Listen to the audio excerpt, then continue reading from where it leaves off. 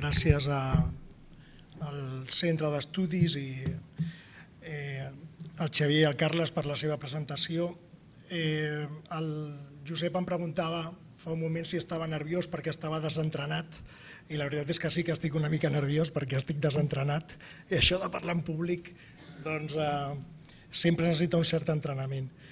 Per, per relaxar-me doncs intentaré parlar-vos en confiança eh? i no poder no tenir un to massa, massa mm, institucional o poder sí, no ho sé. En qualsevol cas intentaré relaxar-me i explicar-vos una mica mm, sobretot la, la, la posada en marxa del projecte, del projecte el per què i el, i el, bueno, doncs, aquest primer temps que ha passat. Havia, havia pensat en uh, titular la presentació Breu història del DAE, però clar, em semblava que era una mica, no sé, eh, és breu, però poder no tant per, com per posar-li un títol, no? així com... I, i bueno, doncs... Eh, és veritat que és breu perquè efectivament encara no fa dos anys de la posada en marxa del projecte, però també és veritat que és molt intensa i ha sigut molt intensa. El DAI no està construït sobre, només sobre una idea o sobre l'actualitat. Val a dir que el, el DAE dit està construït sobre una història prèvia, que no, al meu entendre, no és poc important, sinó al contrari, molt important perquè penso que hi ha moltes coses que queden d'altre DAE, eh, del DAE que va existir abans d'aquest DAE del DAE dit. Eh, el DAE va existir des de l'any eh, 90 fins a l'any eh, 2013 en el format antic, per aquells que no eh, coneixeu, doncs era una unitat dedicada fonamentalment a l'atenció als toxicòmens i era una unitat doncs, que va tenir una, manifesta voluntat de donar resposta a una necessitat molt important del sistema, que era l'atenció a les dependències. Com sabeu, les dependències continuen sent el problema principal del sistema, al meu entendre, com a mínim, ocupen un percentatge molt important o es presenten un percentatge molt important de la població i a l'any 90 no existia un, eh, un, una resposta ben construïda i nombrosa per a aquest tipus de problemes. Aleshores, eh, el DAE va intentar donar una resposta organitzada des d'una perspectiva molt concreta, que eren els programes lliures de droga, i eh, doncs es va fer amb un, amb un model molt concret. Era un model adreçat a la rehabilitació, amb atenció individualitzada a interns i a famílies, amb intervenció amb els interns de tipus grupal, amb un treball en equip multidisciplinari que eh, incluïa tots els actors, a l'equip de tractament, a l'equip de vigilància, les entitats i els voluntaris. Són aspectes molt rellevants perquè eh, per nosaltres eren un patrimoni eh, molt important del treball que s'havia fet. Eh, I per tant, un element que nosaltres no, no volíem eh, perdre de vista. La idea del model de comunitat terapèutica també era una variable que volíem tenir molt present, la idea de l'entorn i els altres com a eh, comunitat educativa, eh, aquesta idea doncs, de que els altres ens, ens ajuden a construir-nos d'una manera en què bueno, doncs, fem aprenentatges al costat d'altra gent, dels eh, educadors, però també dels altres, de les altres persones internades.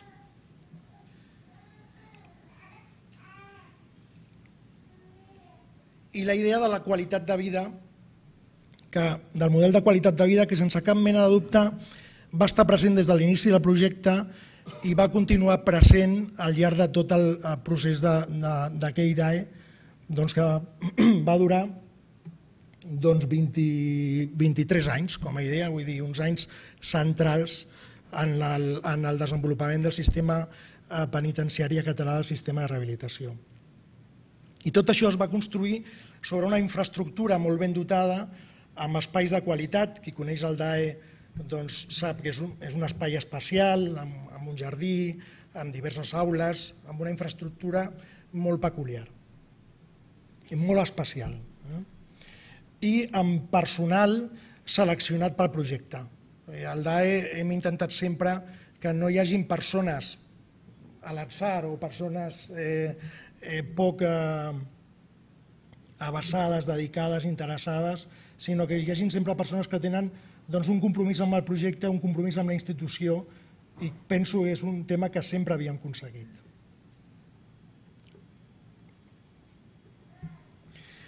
Clar, si tot funcionava tan bé, per què hem de fer un canvi? No? És el que tothom es pregunta, si tot era tan fantàstic. Fonamentalment perquè, eh, afortunadament, el model de toxicomanies s'havia generalitzat, s'havia estès per tota la xarxa, tot el sistema penitenciari, s'ha estès, encara està estès, òbviament, perquè s'havia ampliat perquè teníem una oferta molt àmplia en l'àmbit de les toxicomanies, perquè treballàvem en tot tipus de projectes, eh, des de eh, els programes lliures de droga com el DAE, eh, els eh, programes eh, eh, eh, amb antagonistes, els programes eh, de reducció de danys, vull dir, l'oferta era molt àmplia. En l'any 2013 ja teníem dos cas dins del sistema, i un altre d'all de toxicomanies, amb la qual ens semblava que bueno, doncs, eh, poder, podíem aprofitar la vinentesa per plantejar-nos un altre escenari. Evidentment, quan, un, quan una oferta és molt, quan l'oferta per una, un contingut és molt àmplia, doncs eh, de vegades tens el risc de, tot i ser eh, eficaç, poder no ser eficient eh, perquè el que passava concretament al nostre centre és que teníem una estructura de toxicomanies molt ben desenvolupada i, per tant, mm, el DAE, que ocupava un espai, no era eh, ja una infraestructura eh, imprescindible com havia esdevingut en períodes anteriors. Per tant, tenim una gran oferta, eh, tenim eh, un espai que no creiem que estigui tot eh, l'utilitzat que el temps eh, en el qual estem de crisi demana i tenim noves necessitats. I aquestes noves necessitats necessiten noves respostes. I en aquest escenari van començar a pensar a finals de l'any, a meitats, finals de l'any 2012, que podem, poder podíem pensar en altres coses i que podíem construir altres coses, eh, que podíem muntar en aquella unitat altre projecte. La idea era molt clara, no volíem perdre les característiques de la unitat que havia, havien aportat eh, molt enriquiment a tot el sistema. Si és possible, sí que volíem qualificar encara més aquell tipus d'intervenció i ampliar amb aquells elements més actuals, més contemporanis en la intervenció amb els interns que estiguessin allà dins. I vam pensar en moltes coses i vam estar durant mesos pensant en moltes coses. La veritat és que se'ns va passar pel cap fer de tot dins de la unitat. Eh?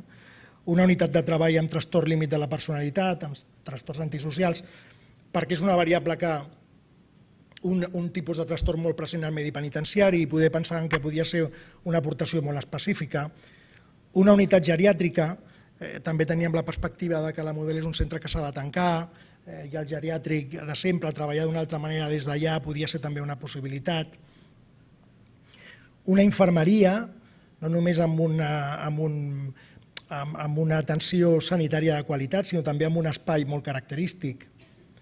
Una unitat finalista d'intervenció amb les toxicomanies, que treballés tot el que és la derivació a la comunitat. Totes aquestes van ser idees que vam eh, donar voltes i voltes durant aquells mesos en diferents moments. Bueno, l'anunciat de la diapositiva podria ser l'anunciat que va fer en un moment determinat el director, que al José se li va passar pel cap, i, i per què no amb, amb, amb discapacitats intel·lectuals? Eh? Per què no treballar amb aquesta idea? No era un tema que jo, com a mínim, al principi acollís eh, amb, amb, amb, no diria amb molt d'entusiasme, perquè no és aquesta la paraula, però en qualsevol cas amb un model molt clar, perquè quan havia estat al servei de rehabilitació recordava perfectament que una de les idees que ens va plantejar d'INCAT va ser organitzar una unitat d'aquest tipus i va ser en el moment que vam obrir eh, Brians 2 i la nostra resposta va ser que poder no, no era el nostre model, eh? que nosaltres volíem un model doncs, més d'inserció eh, dins de les, de les eh, diferents unitats del centre i un treball centralitzat des de DINCAT, però no un treball centralitzat dins d'una unitat, eh? sinó un treball amb els interns a les diferents unitats. Però bueno, van començar a aparèixer moltes coses que mm, també ens van anar convencent a mi i a la resta de membres de l'equip directiu, com va ser la percepció de que es tracta d'un col·lectiu doncs, conegut, per la, conegut en el medi penitenciari o per la seva conflictivitat, eh, interns que tenen molts problemes de convivència, que presenten moltes dificultats en el dia a dia, o per la seva vulnerabilitat. Gent que de vegades passa de manera molt discreta, però que té moltes pressions en la seva quotidianitat. I per tant, bueno, doncs aquesta era una necessitat, era una necessitat eh, que estava present al nostre centre, on ja existia des de feia temps el projecte Accepta, i per tant, bueno, doncs, mm, és veritat, tenim gent fràgil, poder val la pena que articulem el projecte al voltant d'aquesta gent. La idea d'eficiència és una idea molt important. A la crisi no només ens ha, ens ha aportat dificultats sí, moltes dificultats, però també moltes vegades l'obligació de repensar les coses, i això en aquest sentit bueno, és la part positiva de la crisi. I aleshores bueno, vam pensar que hi havia un tema d'eficiència que era important i està clar que centralitzar en una sola unitat ens feia, eh, feia més eficient els recursos que teníem que en aquest tema doncs, érem minsos o més pobres que els que havíem tingut anys enrere. Per tant, bueno, doncs endavant. L'existència de l'experiència prèvia de treball amb DINCAT mitjançant el projecte Accepta, sense cap mena de dubte, era eh, doncs, eh, una experiència positiva i que nosaltres pensàvem que havíem d'integrar i que valia la pena doncs, eh, potenciar. I també la nova posició del centre directiu envers aquesta idea que bueno, doncs suposo que el canvi d'època havia provocat doncs, que aquesta idea que en un principi vam rebutjar l'any 2006-2007 amb l'apertura de, de, de Brians 2 doncs es veia d'una altra manera i es vivia d'una altra manera. Per tant, bueno, eh, per tot això vam decidir que endavant amb les discapacitats intel·lectuals. I aleshores bueno, vam plantejar-nos, eh, vam parlar eh, amb l'equip directiu, evidentment en aquest, del, del centre Eh, del centre directiu, amb la direcció general, i a partir d'aquí vam constituir tot un procés de treball. Bàsicament, eh, la idea era explorar amb, eh, amb les parts implicades, d'INCAT, la direcció general i nosaltres, doncs, eh, eh, les experiències que existien eh, i plantejar tot, doncs, tot un procés de treball. Bàsicament el que vam fer va ser doncs, una constitució d'un grup de treball a tres bandes, que tenia dos nivells, hi havia un plànol més directiu, que estava composat doncs, per al cap del Servei de Rehabilitació, la subdirectora general, el director i jo mateix, i després un equip de treball que estava eh, conformat pel coordinador del DAE, per la gent de la, de la secció de tractament i per la gent de d'INCAT, eh, per la Susana i companyia. I en tot aquest procés doncs, vam fer eh, doncs, un procés de reflexió important, eh, no només es tractava de muntar una unitat, sinó de pensar de quina manera volíem que fos aquella unitat i per què, i quines respostes havia de donar i quines respostes no. Uh, havíem de conèixer quines experiències existien, es va anar a Segovia a conèixer l'experiència que, teníem a, que tenien a Madrid. Uh, doncs uh, es va crear el pla funcional, o es va anar creant el pla funcional, perquè de fet el pla funcional es va publicar finalment a l'octubre del 13 però la unitat es va posar en marxa al juny i es van seleccionar els professionals, doncs el personal d'interior, el cap de la unitat en aquest període, eh, el cap d'unitat de, de vigilància interior és un, un, una referència importantíssima perquè esdevé una mica el substitut natural a la quotidianitat del, del coordinador i per tant era una referència important, i després el personal de tractament. I en tot aquest treball, des de gener del 2013 fins al juny del 2013, ens van posar en funcionament. Mm?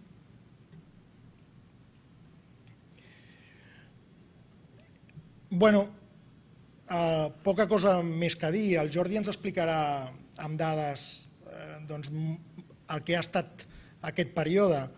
Jo diria que bàsicament sí que hem aconseguit eh, mantenir els trets essencials i que nosaltres desitjàvem de l'antic projecte de DAE, aquella cosa que s'havia construït durant 23 anys i que tenia un valor per nosaltres, el model de rehabilitació, el model de qualitat de vida i la comunitat terapèutica, la idea de comunitat com elements de treball, això ho mantenim i en aquest sentit el projecte doncs, eh, té més valors eh, i més elements, però aquests es mantenen.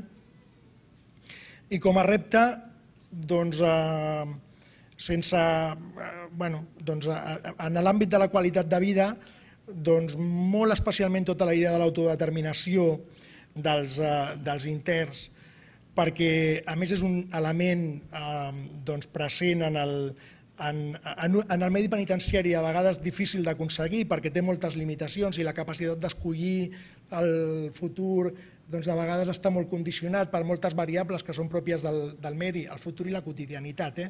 D'anar construint la pròpia, el propi projecte és de vegades difícil i com no un element que nosaltres ens coneixem molt bé en general de tots els interns, els processos d'inserció social i laboral dels residents, que són variables també molt importants de cara al retorn al medi.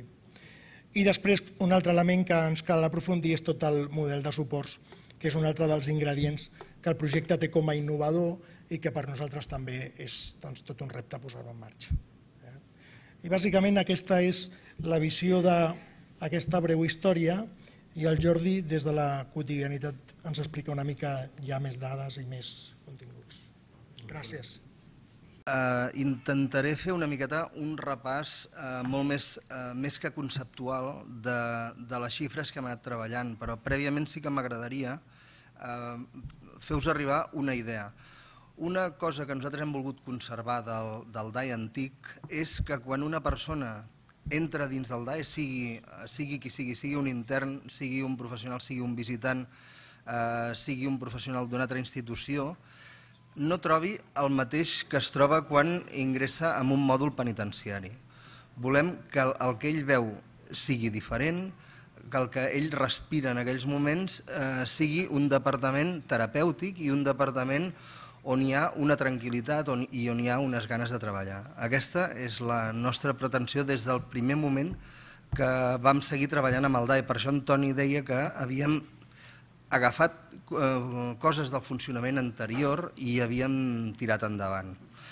Quan parlem de, de discapacitats intel·lectuals, estem parlant de persones que tenen una sèrie de característiques en comú, però també estem parlant de persones que presenten unes diferències individuals que poden ser molt grans de persona a persona. Aquestes característiques bàsiques són eh, les que ens defineixen la pròpia discapacitat intel·lectual eh, són persones amb un coeficient intel·lectual que no arriba a un percentil de 70, són persones que tenen una mancança en quant a habilitats socials, habilitats relacionals, etc etc. I són persones que tenen dificultats eh, adaptatives. Però de persona a persona són absolutament diferents i això ens ho hem trobat nosaltres com a característica molt pròpia del DAE eh, dit en aquests moments. Això vol dir que hi ha una, una tasca molt important que hem de fer i és de saber trobar la línia d'intervenció eh, per qualsevol persona de les que entra al nostre departament, perquè és un, un departament que s'ho pot permetre. Aquí no tenim la necessitat de treballar amb grans grups, sinó que tenim la necessitat de treballar en petit grup i al màxim d'individualment possible que podem. Bé, el perfil bàsic que trobem de la persona amb discapacitat intel·lectual que ingressa en el DAE és que és un home de 34 anys i 7 mesos, eh, reincident penal i penitenciari, condemnat per delicte contra la propietat o delicte contra les persones, té una condemna mitjana de 6 anys i 6 mesos i 10 dies, és nascut a Barcelona o comarques de Barcelona i resideix també a Barcelona i les comarques de Barcelona, i eh, té problemes amb el consum de drogues o alcohol i té alteracions psicològiques greus o psiquiàtriques. També té, eh, ha tingut eh, prèviament a l'ingrés al DAE problemes de convivència eh, dins de la vida de la presó. Eh, fins a aquests moments el DAE ha tingut un total de 51 persones. Eh, actualment la seva població amb població discapacitada és de 30 persones. D'aquestes 51 persones n'hi han que han vingut, han sortit, han tornat a entrar, han sortit eh, en llibertat, han tornat a entrar i han sortit derivades a un centre extern o eh, han sigut expulsades definitivament hi han retornat al DAE quan ha modificat determinats aspectes que li hem condicionat o els hem expulsat durant un període per incompliments seriosos i els hem tornat a repescar. O sigui, hi ha uh, un, una varietat uh, brutal. L'edat dels usuaris del DAE és una mitjana de 34 anys i 7 mesos amb una edat mínima de 20 anys i una edat màxima de 62. Per tant, veieu que hi ha una, una diferència molt gran. Les edats de màxima freqüència són 33 i 38 anys. El lloc de naixement, deia, la màxima freqüència és de persones de Barcelona comarques o comarques de Barcelona, la resta de Catalunya un 11,76, eh, a Espanya un 15,69% i fora d'Espanya eh, va ser una persona que era nascuda a Romania, si no m'equivoco. El lloc de residència bàsicament és Barcelona, comarques de Barcelona, també n'hi ha de la resta de Catalunya i tenim un percentatge actualment de persones sense domicili fix que va al 13,73%, vull dir que és bastant elevat. Tenen un suport familiar al 62,75% de la població i no el tenen prop del 30%. Aquestes xifres són, són molt més elevades que el general de la població penitenciària. Eh, després ens manca informació d'un 7 en 85%, vull dir que encara no hem pogut determinar si el suport que tenen és o no és. La tipologia delictiva, dèiem, eh, bàsicament delictes contra la propietat eh, són un 60, 67 en 80%, un 25% en delictes contra les persones, eh, un 5% delictes contra el trànsit i un 78% delictes contra la salut pública. Eh, curiosament, amb la població general penitenciària pujarien molt més els delictes contra la salut pública eh, i la resta seria, si fa no fa, potser pujarien també els delictes contra el trànsit. Eh, la resta més o menys seria el mateix i afegiríem altres tipologies delictives. La durada de la condemna mitjana és de 6 anys i 6 mesos i 10 dies. La condemna inferior va ser una persona que ens va ingressar per 4 mesos, eh, i la condemna més alta una persona que en aquests moments tenia, quan aquestes xifres don, són de fins al dia 30 d'abril, eh, una persona que tenia una condemna de 24 anys, un mes i 3 dies. Actualment puc dir que aquesta persona té una condemna de 27 anys, un mes i 3 dies, perquè ahir li va arribar eh, una nova condemna de, de dos més un any, pendent de fer revisions, acumulacions, el que sigui, probablement no, evidentment no arribarà a complir aquesta xifra, suposem, eh, però en l'actualitat la seva condemna és aquesta. Perfil toxicològic. Dèiem que en problemàtica toxicològica qualsevol tipus de substància. Aquí incluïm persones que tenen un problema real de consum, que l'equip de tractament ha valorat que tenen un problema real de consum, per exemple, amb cànnabis, amb alcohol, cocaïna, heroïna, eh, substàncies eh, psicoactives de qualsevol mena. Sense problemàtica toxicològica coneguda, prop del 10%. Com veieu, la xifra també és molt més, molt més elevada que el de la població general penitenciària. Estic parlant de les persones, de 51 persones que hem tingut al DAE. Eh? No estic dient que tota la població amb discapacitat intel·lectual penitenciària de Catalunya sigui així, sinó és les persones que fins avui hem tingut en el DAE que presentin alteracions psicològiques greus eh, i psiquiàtriques en tenim pràcticament el 75% que sí i un 25% que no, atenent el seu certificat eh, de disminució, certificat oficial. Eh? El CAT emès per benestar social. El tipus d'alteració que ens marca és alteració de la conducta amb un 37-84%. Aquí, si em perdoneu, hi haurà elements que es puguin barrejar. De, alguna persona li pot dir trastorn de personalitat perquè té un trastorn límit de personalitat, eh, algú altre pot haver englobat com a alteració de la conducta. Val? Això no, no és eh, diagnòsticament perfecte. Llavors, em, marquen com a psicosi un 26 amb 32%, psicosi tòxica un 5 amb 26%, trastorns de personalitat un 23-68% i altres eh, categories un 6-90%. Ja dic, és dades obtingudes a partir del certificat eh, de disminució. Eh, aquí sí que m'hi voldria entretenir una miqueta més. Parlem de història personal a presó i també diria prèvia a l'accés a presó són persones eh, que normalment han tingut històries personals i familiars eh, molt dures. L'altre dia vam estar en una, en una xerrada a la Universitat Autònoma de Barcelona, que vam fer una, una breu presentació del projecte i vam eh, anar acompanyats de, de dues persones usuaris del nostre programa i eh, atenent el, el perfil de discapacitat són persones que no tenen pèls a la llengua i diuen moltes vegades les coses tal com ells les viuen o les senten. Eh, una d'aquestes persones va explicar públicament que ell de petit havia sigut maltractat constantment i que havia sigut engaviat. Vale? Estem parlant de coses que van succeir al segle XX, val? a finals dels anys 90. Vull dir, una persona que no podien contenir conductualment i eh, un pare, padrastre en aquest cas, i una mare decideixen engaviar-lo i atonyinar-lo perquè s'estés aturat. Vull dir, eh, situacions d'aquestes eh, a mi em costa, em costa veure-les amb qualsevol tipus de persona, però en, potser una mica més amb un discapacitat intel·lectual. Eh? Són coses molt dures. Hi ha gent que ha tingut aquestes vides i que han tingut vides d'abandonament des del moment de néixer, que han tingut vides d'abandonament des dels 4 o 5 anys, que els, els ens expliquen ells que els pares els han obligat a cometre delictes quan tenien 10, 12, 13 anys. Eh, situacions d'aquestes se'ns repeteixen molt més que en la resta de la població penitenciària.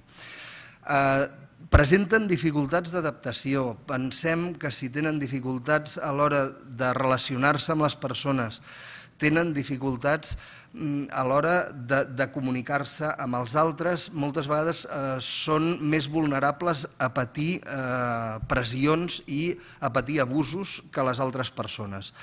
Eh, moltes vegades la conducta que ells presenten és la de camuflatge dins l'entorn. Amb un mòdul de vida ordinari ningú en sap d'ells perquè s'està en un raconet, no relaciona amb ningú, no molesta, no fa cap demanda, per tant, eh, allà es pot quedar. Passen mm, desapercebuts habitualment. I, aquesta, I clar, mai a la vida demana res i per tant mai eh, obtindrà cap possibilitat d'accedir a Mm, algun tipus de formació, algun tipus de res. Eh, queda allà eh, dissimulat dins un pati, no molesta, per tant, moltes vegades allà es queda. Eh, són persones que molts, com veurem d'aquí un moment, han, han viscut en règims de vida tancats, després veurem percentatges. Tenen expedients disciplinaris moltes vegades perquè la seva resposta davant de no entenc la situació és la resposta coneguda i la més coneguda és l'agressió. Davant, davant de no saber què dir o què fer, agradeixo perquè és la conducta que jo hi he après de sempre. I mostren tipus de conductes de supervivència. Eh, per tant, són conductes que eh, ressalten molt. Això ho ha explicat molt bé el Toni. Tenim els, els extraconflictius i tenim els que es camuflen. Eh, són persones que tenen aquestes conductes de jo estic aquí, m'agafo a una mà forta que em, que protegeixi, segons el que ell entén per protecció, i per tant, cegament faig el que ell em demana. Eh, teníem persones que ens havien explicat que feien de kamikazes dins d'una unitat de vida ordinària, o sigui que el seu patró li deia mira, vés amb aquell i li dones dos cops de puny i ell no es plantejava ni per què. Ell anava allà i li pegava dos cops de puny, no hi havia altra, no es mirava altra cosa. I així anava tirant. Uh, han estat en tercer grau anteriorment, han arribat a tercer grau de vida, un de cada cinc, un 19 amb 61%. I no hi han arribat més d'un 80%. En canvi, en primer grau de tractament penitenciari han estat una, una tercera part, eh? un 33 amb 63%. No hi han acabat un 66 amb 67%. Jo diria que la quantitat d'expedients disciplinaris, que mm, serà aproximadament d'un 90-95% que sí que n'han tingut. durant la seva vida penitenciària. Bé, eh, el tipus de funcionament diari que intentem incloure dins del departament és eh, una sèrie d'activitats obligatòries, eh, pràcticament activitats de tipus eh, terapèutic. Mm, la concepció que tenim del DAE no és una concepció de que, ja que tu ets una persona vulnerable, et separem del lloc i et posem en un lloc on et tenim protegit, això seria el funcionament que tothom deia que li feia molta por, el funcionament de gueto, sinó que el nostre funcionament ha de ser un funcionament terapèutic.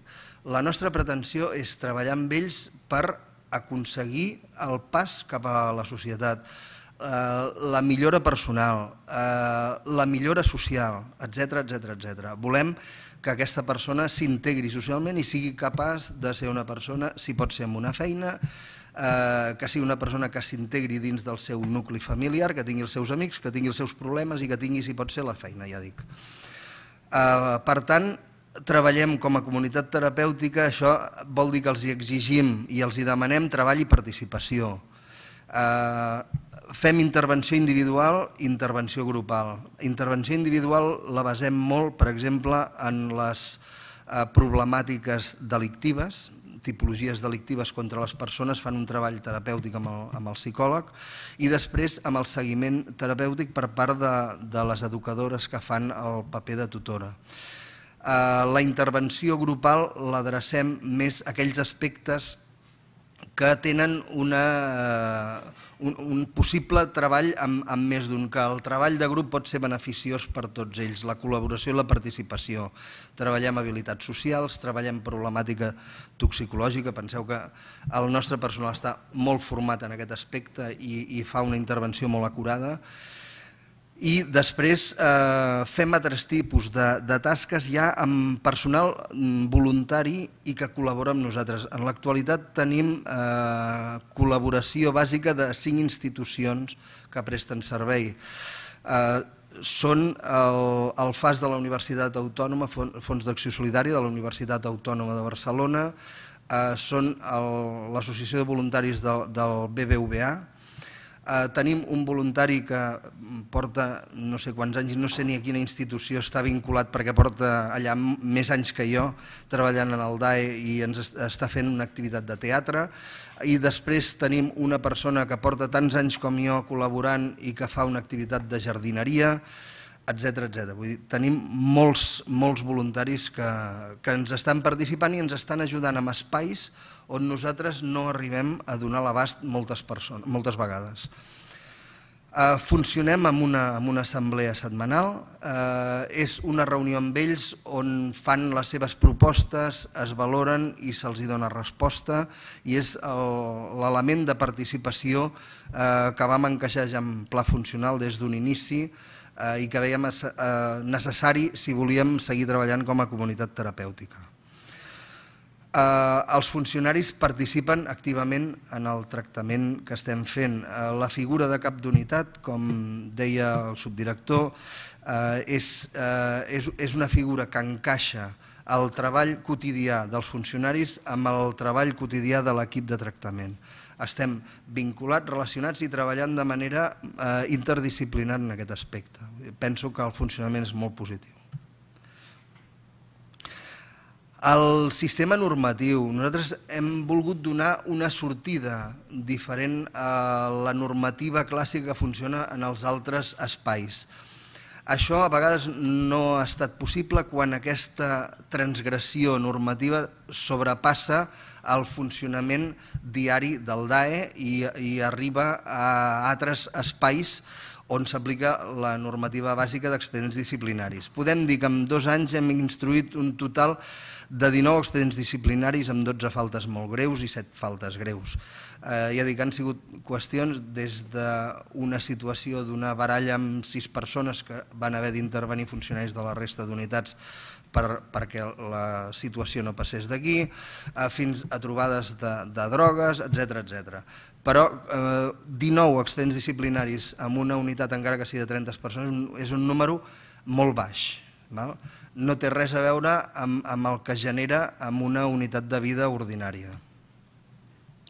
Treballem sobretot a partir de fets positius i fets negatius. Eh, el treballador, eh, funcionari, educador, eh, tècnic, informa d'una conducta i en reunió d'equip es decideixi donar-li una resposta a aquesta conducta. Positiva quan és un, un fet positiu i negativa quan és un fet negatiu. Eh, augmentar la freqüència d'aquella conducta positiva, disminuir la freqüència d'aquella conducta negativa. Hem fet un total de 8 expulsions, temporals. Quan hi ha hagut eh, qüestions que ens, ens han implicat el, en el funcionament diari de la unitat i sobretot en problemes de relació entre ells. Val? Totes les persones que han sigut expulsades temporalment han retornat a la unitat. Els hem posat els deures, els hem posat un, un pla de treball a fora i quan l'han complert han tornat. Hem fet un total de 8 expulsions definitives i 4 persones han marxat voluntàriament. Eh, moltes vegades el ritme de vida, la, la pròpia tranquil·litat que pot donar aquesta unitat, el fet d'haver de fer una sèrie d'activitats eh, i de tenir el temps ocupat, hi ha persones que no estan disposades a mantenir-ho i han demanat, no, no, jo me'n vull anar, tal com han vingut, han marxat, eh, amb l'autorització sempre de centre directiu. D'expulsions definitives ha sigut quan hi ha hagut fets eh, realment greus eh, que afectaven la seguretat de les persones o de la institució i llavors s'ha actuat. Dos d'ells han retornat. Sis en aquests moments no han retornat eh, perquè ells mateixos no ho han demanat eh, o perquè l'activitat, la, l'acció que havien fet eh, significava un atac contra una altra persona del, del departament que mm, vol mantenir-se al marge d'aquell per no tenir més conflicte. Hem tingut un total de dos eh, passos a règim tancat, per una per introducció de, de droga amb quantitat suficient com per valorar-ho i una altra per intent d'abús sexual. Vull dir, no quedem exempts de problemes. Eh, l'apropament a la vida social l'hem fet de manera progressiva. Eh, primer es, es eh, concedien sortides programades, sortides amb acompanyament de professionals, eh, posteriorment es donaven permisos ordinaris de sortida a partir del compliment dels objectius de moniatres passava a tercer grau de tractament penitenciari.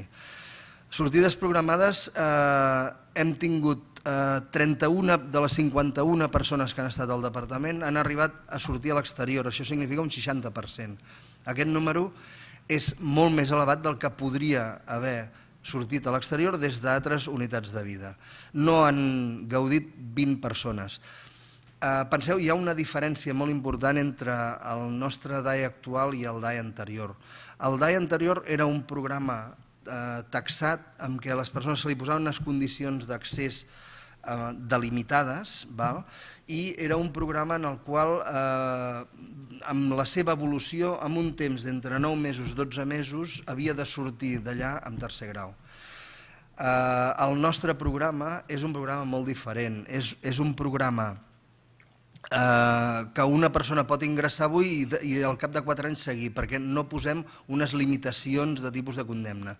Sí que tenim unes condicions, han de ser persones eh, condemnades, han de ser persones classificades en segon o tercer grau, eh, han de ser persones que vinguin al programa voluntàriament, són derivades pel, pel programa d'INCAT quan ells veuen la necessitat, etc etc. Però, eh, ja dic, no és un programa taxat temporalment Permisos ordinaris n'han gaudit un total de 24 persones de les 51, això ens situa amb un 47%. No han tingut accés a sortides un 53% de persones. I fins a l'actualitat hem tingut un total de 8 casos que han arribat a tercer grau o més enllà de, de tractament penitenciari. Dos persones amb pas a 182, article 182, això significa una imunitat terapèutica extrapenitenciària i una altra amb unitat educativa extrapenitenciària i cinc persones en un tercer grau règim obert eh, normal i condent. Una persona va sortir directament amb llibertat condicional des del nostre departament. Eh, també s'han dut a terme informes del risc quan s'ha delimitat que hi havia una alta probabilitat de, de reincidència delictiva i hi havia un risc social mm, per persones.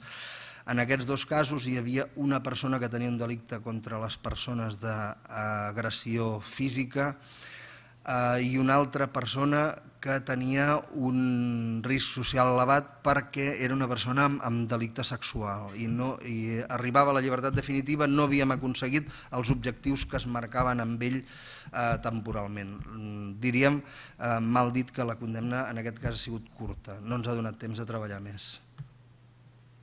Hem tingut també fracassos en el tractament evidents. Una persona ens va marxar d'una sortida programada, una altra persona no va retornar de permís ordinari i una altra persona va marxar des de l'article 182 que dèiem. Eh, evidentment són coses que han de passar.